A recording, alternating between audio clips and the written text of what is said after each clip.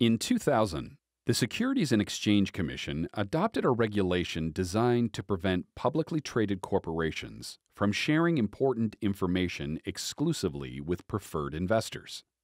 The court in Securities and Exchange Commission versus Siebel Systems Incorporated considered the reach of that regulation.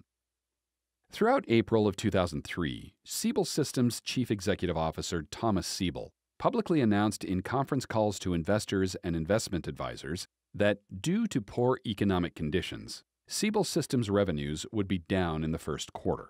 But revenues were expected to improve in the second quarter. They'd make some deals worth over $1 million. And Siebel anticipated that the company would make some deals larger than $5 million. Thereafter, on April 30th, Chief Financial Officer Kenneth Goldman attended two private events for institutional investors. Goldman stated that the company's activity levels were, quote, good or better, unquote, that new deals were in the pipeline, and some of those deals were worth $5 million. Some who heard Goldman's comments immediately bought Siebel Systems stock.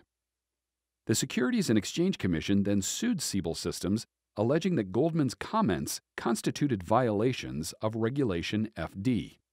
Siebel moved to dismiss the complaint for failure to state a claim, contending that the statements were neither material nor non public.